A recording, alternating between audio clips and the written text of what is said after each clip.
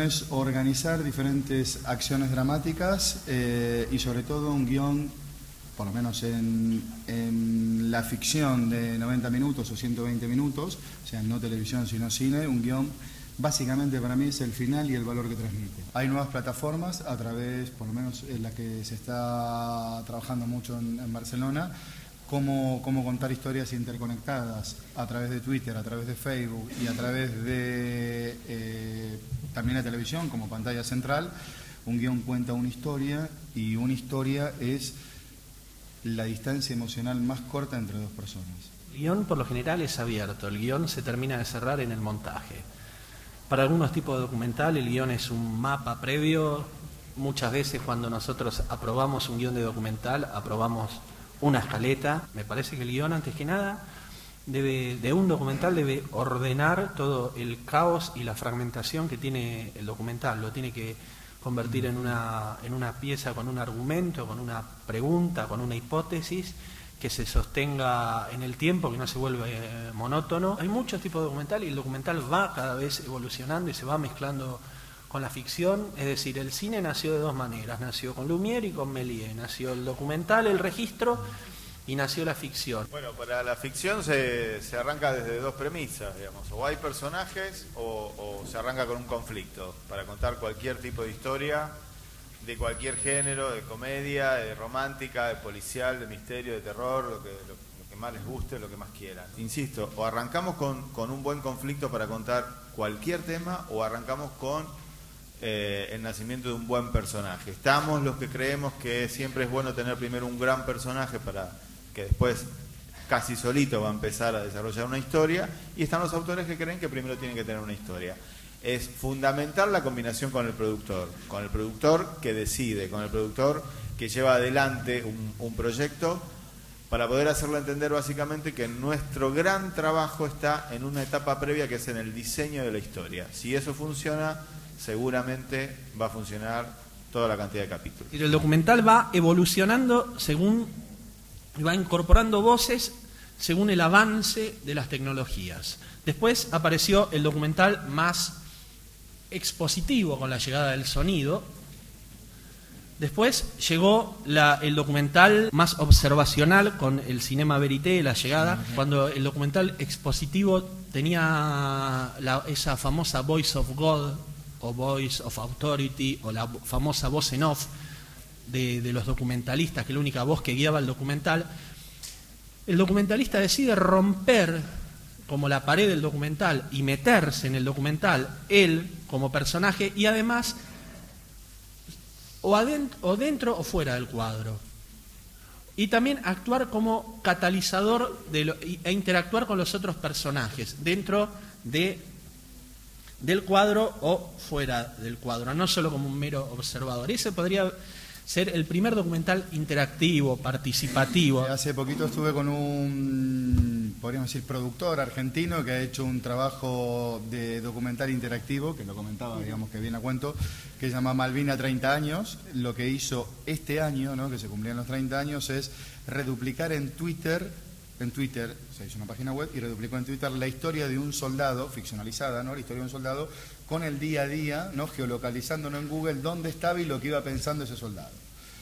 Hasta ahí, bueno, es una historia, la gente participaba, opinaba. Lo interesante es que un excombatiente de Malvinas contacta con él, no, esto me lo cuenta él, no contacta con él y quiere participar para corregir algunos problemas en la descripción de ficción, alucinante. Y empiezan a aconsejarse entre ambos, ¿no? Hasta que, bueno, todos sabemos cómo, más o menos, digamos, cómo, acabó, por supuesto, pero mmm, algunos grises, algunos matices no los conocemos, que este soldado real le ayudaba y le decía el de ficción.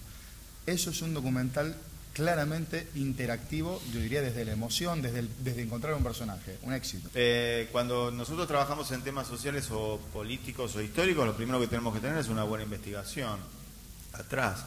En el caso de Televisión por la Identidad o de Vidas Robadas, o propio, también en Montecristo o en Belgrano, eh, siempre se trabajó primero toda la investigación periodística de los temas que íbamos a trabajar ahí, lo que íbamos a tratar, desde dónde lo íbamos a abordar, con qué criterio, a quién íbamos a molestar, a quién no, y sobre todo con, temas que tienen mucha actualidad.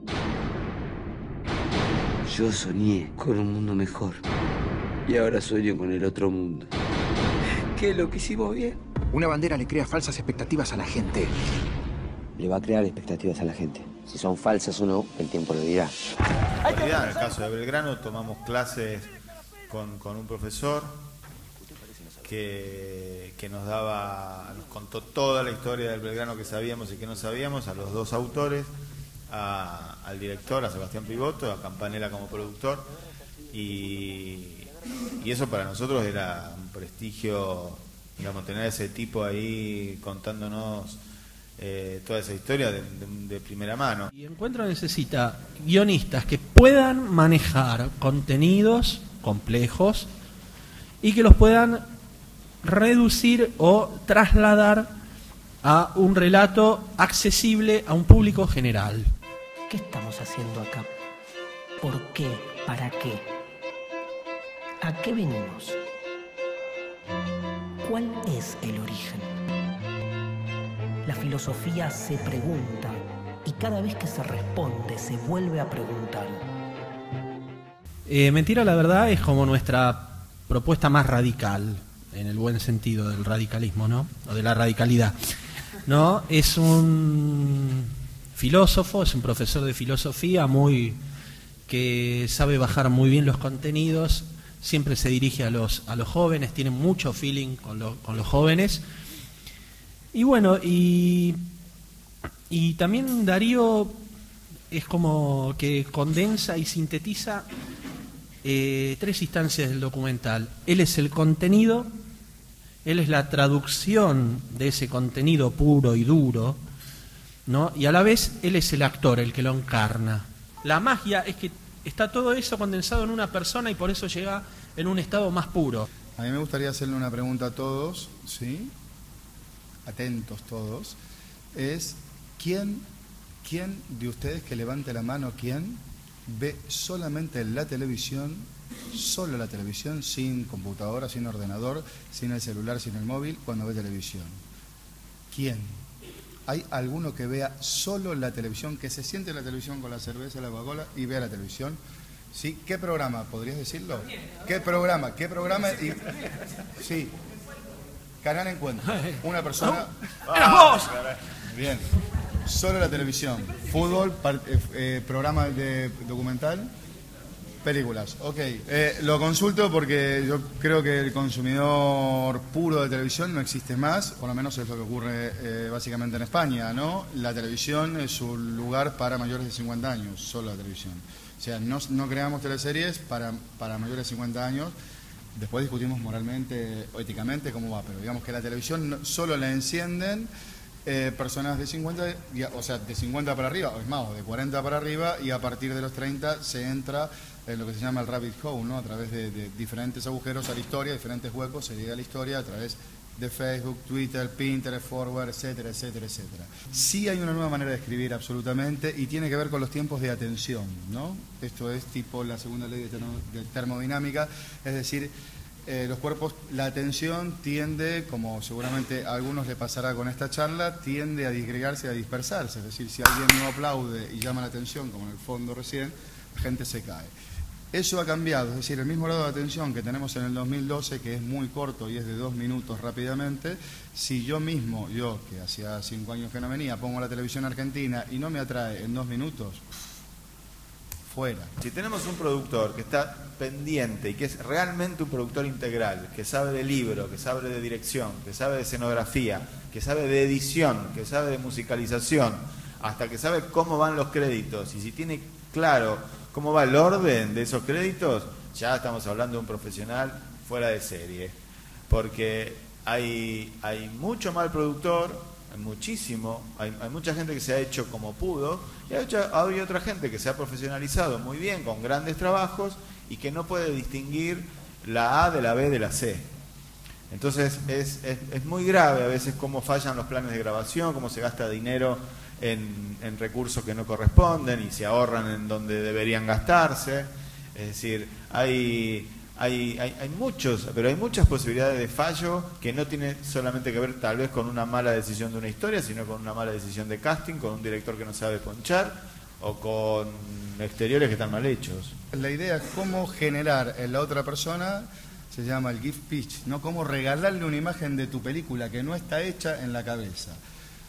Si yo pregunto, ¿de qué va Belgrano? No, mira, es de un tipo que quiere eso, ¿no? Es, eso es el pitch, que te agarran en cualquier lado. ¿De qué va la película? ¿De qué va San Martín? Mira, es un tipo que junto, que quiere liberar eh, rápido. Eh, El, el verdadero escritor profesional encuentra la manera de satisfacer las demandas de la gente que pone el dinero negociando con cómo le gusta escribir a él.